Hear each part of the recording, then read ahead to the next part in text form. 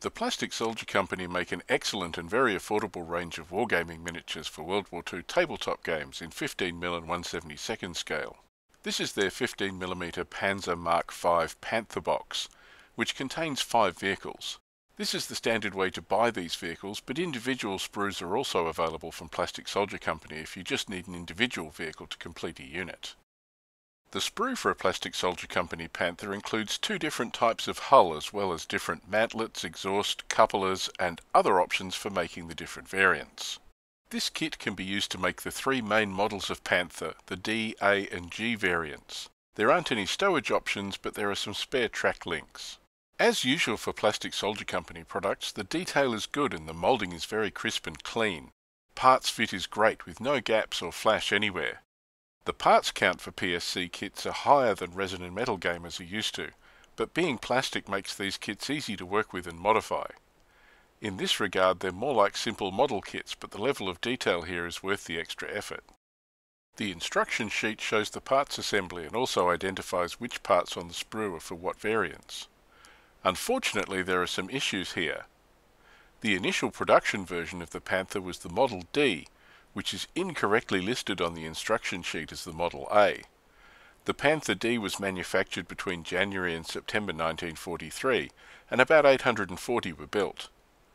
This model of the Panther has the earlier dustbin commander's cupola, angled rear hull sponsons, early twin exhaust, and simple vision ports on the hull front. There was considerable variation during the Panther D production run, and early versions can have the smoke discharges fitted, and some very early turrets have a small circular shell loading port on the left-hand side. This detail isn't available in the kit, but would be fairly simple to add. Some later Panther Ds were fitted with the later cast cupola, but following the standard guide in the instructions will build you a standard Panther D.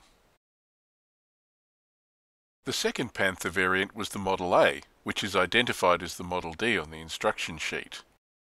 This version was manufactured between August 1943 and June 1944 with over 2,000 of this model built. Unfortunately, the instructions and kit parts are not entirely correct to build a standard Panther A, but luckily it only takes some minor modifications to correct. The Panther A uses the same angled rear hull with the angled driver and radio operator doors as the earlier Model D. However, the A model Panther introduced the armoured ball mount for the radio operator's MG34 to replace the simple rectangular armoured door. Only a very few early Panther A's retained the armoured door, so this means that following the kit instructions will not build you a standard Panther A. Luckily with a plastic kit this is easy to correct. Simply use a hobby knife to carve off the armoured door on the hull front and drill a small hole to take the armoured ball mount locating pin. Because the ball mount contained a telescopic sight, the front vision block of the radio operator's position was eliminated, so this can be removed as well. The gun mantlet will also need to be slightly modified to represent a Model A. The Panther A uses the same mantlet as the Model D, but the binocular gun sight was replaced with a monocular version. This means you should use modelling putty to seal up the outer of the two sighting holes in the mantlet. Once you've fitted the ball MG and modified the mantlet, complete the Panther A with the cast cupola and optionally the later multi-pipe exhaust. The final version shown in the instructions is the Panther G. This version is identified correctly in the instructions. Almost 3,000 of this version were built between March 1944 and the end of the war. The Panther G has the later hull with the simplified side panel armour.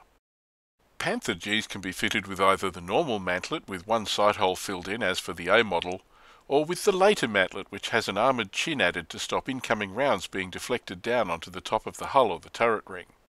The gun barrel cleaning rod tube is shown positioned on the left side of the hull, but in some later Panther Gs this was moved to the rear of the engine deck. This would be a simple modification to make if desired.